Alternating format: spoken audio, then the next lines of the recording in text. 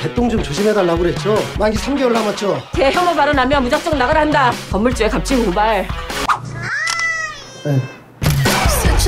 사과하시는 게 좋겠네요. 저기 그냥 단순히 개 있는 데가 아니에요. 그걸 모르니까 이런 기획서가 나오는 거예요. 안 그러냐, 반다야? 우리 개 못 봤어요? 이만한. 봤죠? 걔 어디로 갔는지 못 봤어요? 못 봤죠? 따뜻한 데서 데리고 있으면 안 돼요? 지금 말대로 우리가 강아지 데리고 있자.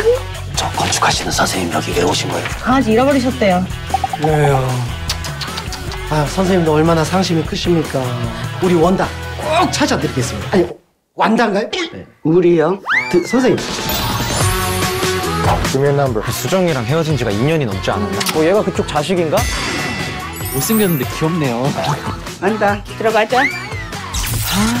사랑이 어때요? 엉망이 이름이 너무 흔한 이름인 것 같아. 그래 사랑이 너무 좋다. 그래 너무 좋다. 사랑이 하자 사랑이. 그래 사랑해 하자. 동물병원 원장님한테는 있는데 고민상 씨한테는 없는 게 뭘까요? 머리 냄새? 우리 차장님 오늘 하루만 재워주면 안 될까요? 찾아야 하는 애는 못 찾고 씨.